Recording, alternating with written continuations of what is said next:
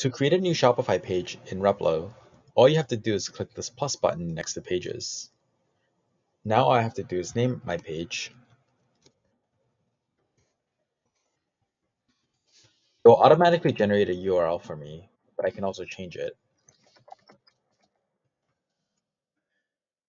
And I can also choose whether it's published immediately or whether to set it as my home page. I can also choose if I want to include the Shopify headers and footers for my Shopify theme. So here, I don't really want to publish this page initially, and I don't want to set it as my home page. Uh, but I do want to keep the headers and footers that exist in my theme.